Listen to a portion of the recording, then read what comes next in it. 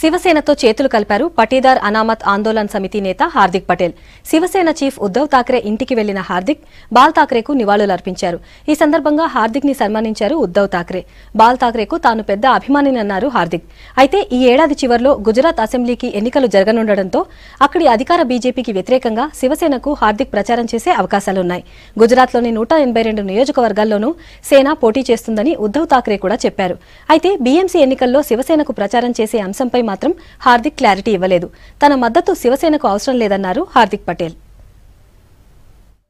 उसके नाते आज प्रणाम करने के लिए आए थे और बड़ों के आशीर्वाद देने के लिए आए थे। ताकि जो लड़ाई लड़ रहे हैं समाज के लिए सामाजिक परिवर्तन के लिए और कुछ ऐसा राजनीतिक परिवर्तन जहाँ पर लोगों को न्याय मिला बस इसी के लिए आए थे जहाँ पर और जहाँ भी जरूरत पड़ेगी हम इन परिवार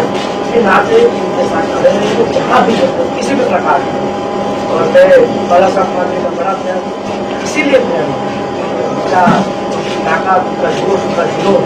तो हर एक युवा के लिए हर एक हिंदुस्तानी के लिए वो बड़ा था जब वो नहीं रहे तब यहाँ पर लाखों लोग थे तब समझ रहा था पूरे वीडियो देखा यूट्यूब पर लाखों लोग एक था टाइगर और एक अच्छी बात थी कुछ सीखने को मिलता है लड़ाई लड़की लंबी वो कहते थे लोकशाही और तो मुझे बहुत अच्छा लगता है उनके ए, पर उनके पैरों से चलने का मुझे सुकून मिला यहाँ पर यहाँ पर आया और यहाँ पर जितने भी लोग सब दोस्त हैं हमारे। और उनसे मिलना चाहे वो इलेक्शन लड़ते हो ना लड़ते हो अलग लेकिन उनसे मिलना वो पॉलिटिकल इशू नहीं होता उनसे मिलकर कुछ अच्छा करना मैंने पहले भी कहा अच्छे विचारों को आगे ले जा रहा है। वो पॉलिटिकल इशू नहीं होता वो अच्छा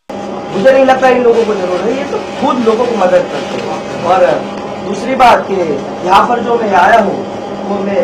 ये नहीं कह सकता कि मैं इनको मदद करने के लिए आया हूँ, मैं ये करने आया हूँ उनके आशीर्वाद मुझे चाहिए क्योंकि मैं तो तेईस साल का बच्चा हूँ, अभी सीख रहा हूँ, समझ रहा हूँ, चाहे वो राजनीतिक हो, चाहे नौकरी